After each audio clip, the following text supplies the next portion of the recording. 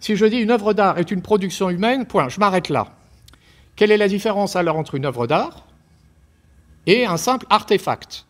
C'est-à-dire un produit de l'art humain tel que euh, les lunettes que j'ai en main, par exemple, parce que c'est de même nature. La pêche est un art. La pêche est un art, il faut savoir faire. Hein. La pêche est un art. Mais euh, le Requiem de Mozart est une œuvre d'art. Il y a le même mot, art. Bon, c'est la même chose Peut-être, mais peut-être pas. Ça mérite qu'on regarde de plus près. Alors, bon, ce qu'on va faire, parce que pour bien penser ça, moi, il me semble, il faut vraiment adopter une, démarche philosophique. C'est-à-dire, il faut en revenir d'abord à la vie.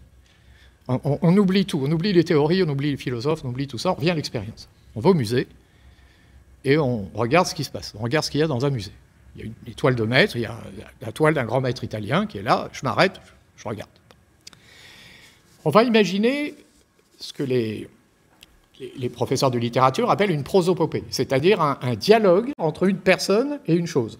C'est une figure de style, une prosopopée. Imaginons que celui qui s'arrête devant l'œuvre d'art entretienne un dialogue avec l'œuvre d'art. On va la faire parler, comme si c'était une personne.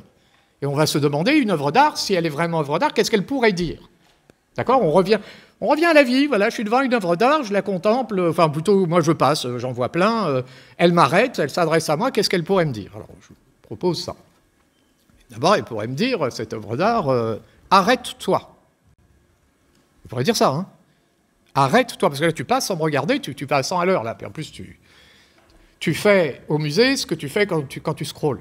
Mais on peut le faire aussi, c'est pas un problème. Moi, je le fais aussi. Hein, problème. Il y a de la place. Pour, on peut jouer au tennis et au football. Hein. Il n'y a pas de problème. Hein. à condition de ne pas jouer avec des raquettes sur le terrain de foot et pas de jouer avec les pieds sur le cours de tennis. Et si on respecte les règles, il n'y a pas de problème. Donc on peut aller très vite sur petit écran et on peut s'arrêter, euh, contempler. C'est possible. Hein. C'est pas incompatible. Le tout, c'est mettre les choses à leur place. Donc on peut imaginer que cette œuvre d'art me dise arrête-toi. C'est possible. Arrête-toi. Ce qui signifierait que cette œuvre d'art m'inviterait à entretenir avec le réel, avec le monde, une relation très particulière. Vous voyez bien, l'œuvre d'art, quand elle me dit arrête-toi, qu'est-ce qu'elle me dit? Elle me dit tu t'arrêtes et tu me regardes. Autrement dit, tu ne me consommes pas. Tu me détruis pas. Tu me regardes. Peut-être que vos parents vous disaient ça d'ailleurs quand vous étiez petit, que vous alliez au musée ou ailleurs, et qu'on vous disait, peut-être vous, vous disait-on ça, hein, tu touches avec les yeux. Autrement dit, tu touches pas. Tu, tu, commences pas à bricoler, tu, tu, fais pas, tu t'arrêtes de faire. Tu arrêtes de bricoler, de détruire, d'abîmer, etc. Donc l'œuvre d'art, euh, c'est ça, hein, tu t'arrêtes, tu, me contemples. Voilà, tu me touches pas, tu, tu, muses pas. D'ailleurs, le directeur d'un musée, vous savez peut-être, son titre administratif, c'est un conservateur. Son boulot, c'est de faire en sorte que les œuvres soient conservées, qu'elles ne soient pas détruites, qu'elles ne soient pas abîmées. C'est une tâche, hein, c'est difficile, hein, conserver les choses dans un monde de consommation qui, par définition, détruit tout. Parce que la consommation, c'est la destruction. Dans un monde de consommation qui détruit tout, l'idée qu'il faille conserver quelque chose, qui mériterait d'être conservé parce que ce quelque chose n'a pas été fait ni pour être consommé ni pour être utilisé, ça va pas de soi. Vous voyez, quelque chose, vous voyez, c'est un peu. On, décide de restaurer Notre-Dame et puis ça prend feu. Voilà, il y a quelqu'un quelque part qui n'a pas fait le boulot.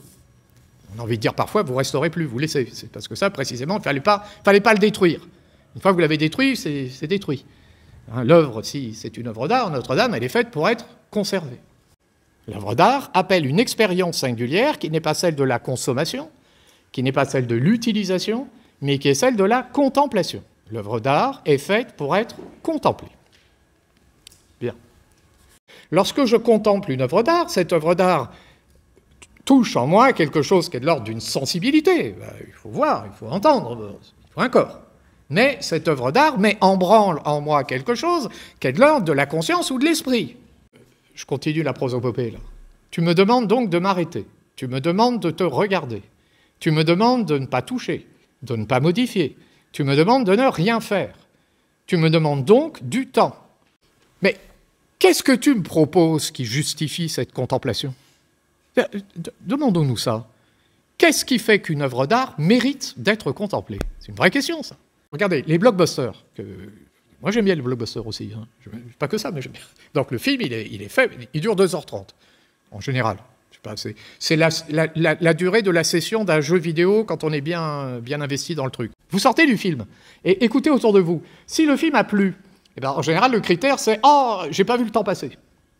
Oh, c'est pas bien. Alors qu'à l'inverse, Oh, il y avait des longueurs. Bon, alors s'il y avait des longueurs, ça veut dire... on peut traduire, donc c'était mauvais. Donc, vous voyez, moins on sent le temps passer, plus c'est réussi. Moins plus on sent le temps passer, moins c'est réussi. Autrement dit, moins on contemple, mieux c'est. Ouais, ben d'accord, mais c'est bien euh, aussi de se divertir, d'écraser le temps, pas mal. Mais contempler, c'est bien, peut-être, ça porte à quelque chose. Simplement, la contemplation n'empêche pas la durée, au contraire, elle la réclame. Et en réclamant la durée, elle n'empêche pas même parfois une certaine quantité d'ennui possible. C'est possible. Donc la question, vous comprenez, hein, c'est une vraie question. Mais t'es qui, toi, pour me demander de m'arrêter de te contempler, alors même que tu ne me divertis pas? Alors, une réponse.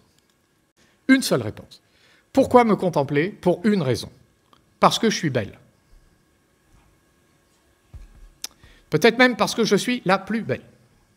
Enfin, je suis la révélation devant toi d'une beauté que tu ne trouveras pas ailleurs, qui va très profondément toucher ton âme, de sorte qu'il est possible même que ta vie après ne soit plus tout à fait comme avant. Donc une œuvre d'art, euh, c'est ça. Et un artiste, c'est quelqu'un qui est capable de produire un beau fait pour être contemplé. Est capable de produire une beauté qui appelle une expérience de la contemplation.